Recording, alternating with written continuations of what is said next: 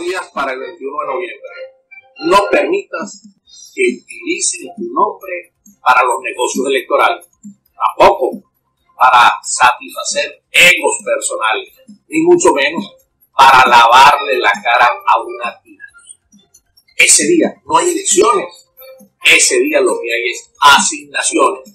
No importa el número de personas que acudan a votar, siempre van a inflar los números porque al régimen le interesa tener los centros de votación full.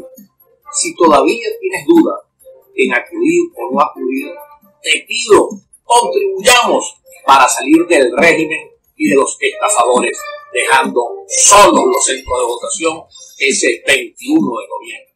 Apretado abrazo para todos ustedes.